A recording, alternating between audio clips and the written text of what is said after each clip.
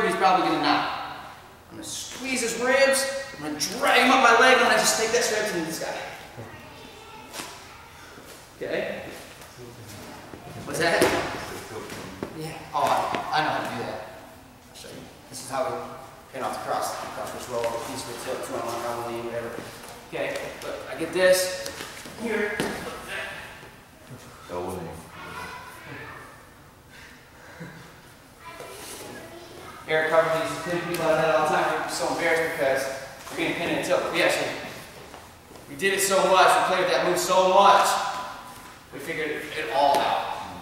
You can, I mean, it's just, but then in college it doesn't work as well, so I stopped really showing it a lot because it's not as effective. Everything goes in fast. Everything can get beat once you use too much of it. Exactly. I'm on, I'm on Chris.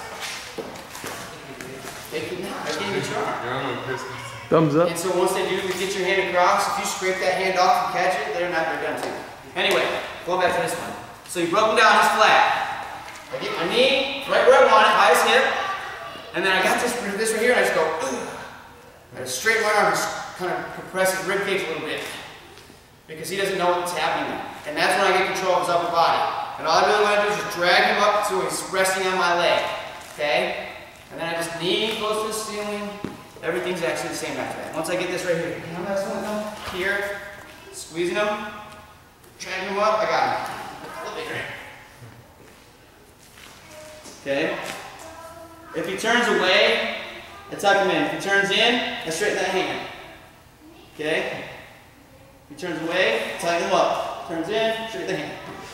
Turns away, tighten him up, turns in, straighten the. Okay? Also, I can just twist him in a nice little circle right here too. And you can't really do much. Hey, hey, hey, I get my five count, come up. Uh-oh. Hmm. Not good for him. In freestyle, you guys, ever wrestle freestyle? Trap gut wrench. Okay, folk style. Okay, here. Oh, at that. okay, so we come up with leg in. Good for us, not so good for him. Okay, what's the technique? He flattens out, you can't get him up. Knee where you want it by the hip. Squeeze the body together, drag up your leg, and then just rotate back into an elevator. Tighten up. Okay? All right, let's go do it. Ready? One, two.